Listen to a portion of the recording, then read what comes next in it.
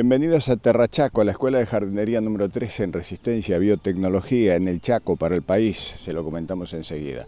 Bioenergy, nos han consultado acerca de esto de la producción de biodiesel a partir de la grasa animal, por eso repetimos este material.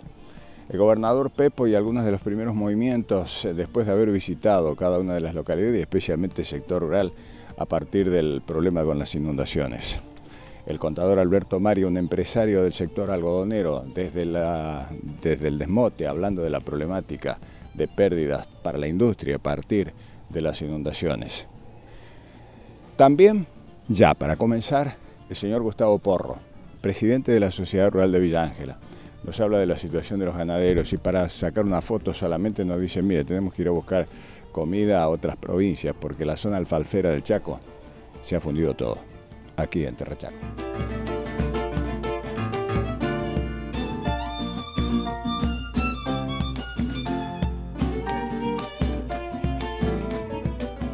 La situación para nosotros es caótica. Nosotros no, tuvimos, yo, no tengo conocimiento de un desastre de esta magnitud en, nuestra zona, o sea, eh, toda la zona alfalfera, la zona que produce reservas, que produce fardo, que produce maíz, para nosotros inundada con un metro de agua, la verdad que para nosotros es totalmente desalentador. Imagínense usted cómo están los campos nuestros, que son las que reciben ese agua, que son la zona de bajos, donde hacemos cría, eh, o sea, no podemos hacer reserva nosotros y no pudieron hacer los que nos proveen de reserva, así que la verdad que vamos a pasar un invierno muy difícil, eh, muy duro. Eh, vamos a tener que ir a buscar comida para los animales muy lejos, a otra zona, no sé, a otras provincias tal vez. y tratar de meterlos en nuestros campos también, porque nuestra, nuestra red de camino quedó destruida.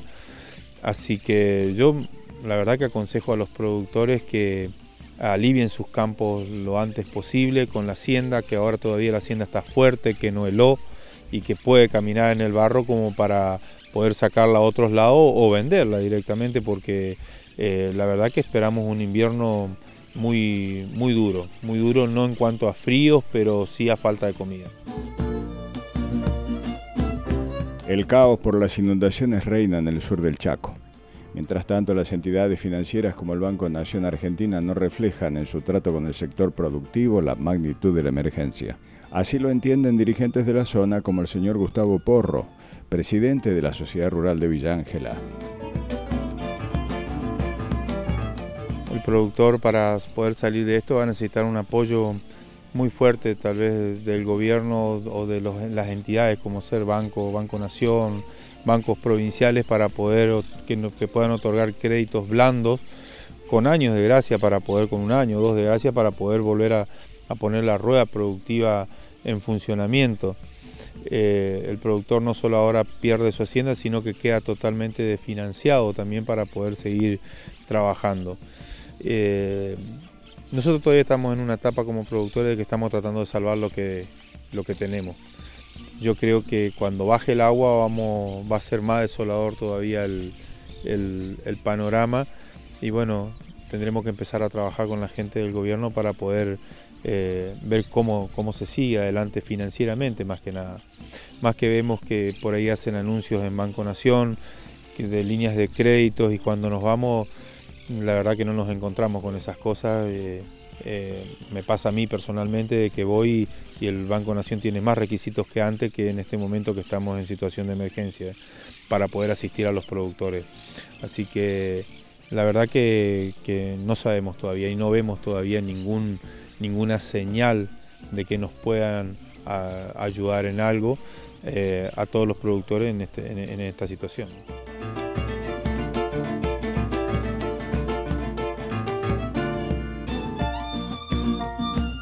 Las entidades tienen que seguir moviéndose a pesar de todo, y más allá de las inundaciones, pensando en el beneficio de cada uno de sus asociados, en este caso los productores, los ganaderos. En Villa Ángela, por ejemplo, la sociedad rural de, esa ciudad sigue realizando remates en situaciones extremas y con los productores sacando como pueden su hacienda. Pero lo cierto es que les sirve y de mucho porque logran precio, logran aliviar los campos y logran unos pesos en este momento tan difícil. Aquí en Terrachaco.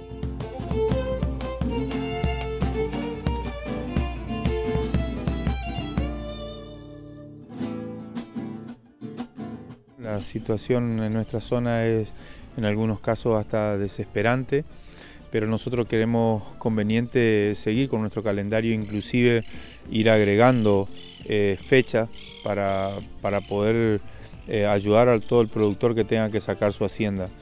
No nos olvidemos que hoy como tenemos una, red de camino devastada, que es muy difícil hacer una negociación en el campo para el productor eh, y el productor mismo está tratando de salvar sus animales, va, saca, trae lo que puede en arreo, en tractor, con un acoplado, saca lo que puede, trae a la sociedad rural y bueno, en un remate lo puede vender y puede vender todas las categorías que necesite eh, sacar del campo y defender también un poco el precio, porque todos sabemos que cuando ocurren estas cosas baja el precio de la hacienda y hay gente que por ahí se aprovecha de la situación de los productores y bueno, nosotros como entidad queremos proteger un poco, al menos en ese aspecto.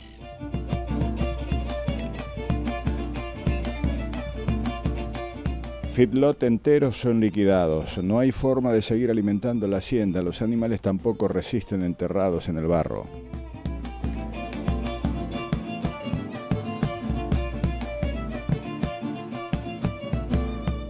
Hay muchos campos que se están vaciando, que están trasladando la hacienda. Tenemos productores socios de sociedad rural que están sacando la, hacienda de cría la zona donde pueden conseguir algún tipo de campo.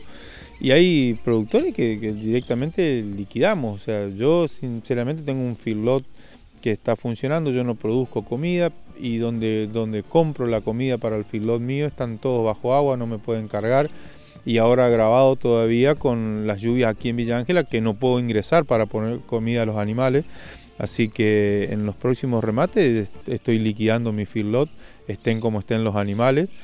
Y, bueno, nosotros vemos preocupante esto, no solamente por, por liquidar, porque bueno, nosotros liquidamos y compraremos, repondremos más adelante cuando mejoren las condiciones climáticas, pero no podemos tener animales sin comidas, enterrados hasta el pecho en el barro del feedlot. Eh, y lo más triste es que toda esta liquidación eh, va a terminar en una suba de la carne también para el, para, el consumidor, porque al ir eh, terminándose los filos aquí, la carne va a aumentar también.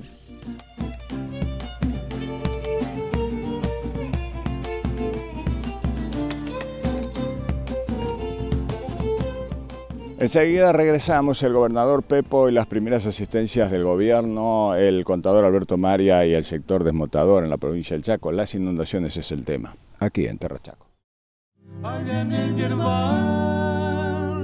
ponderando el filo de tu machete en un lindo de más, la esperanza verde que la tijera pone a tus pies.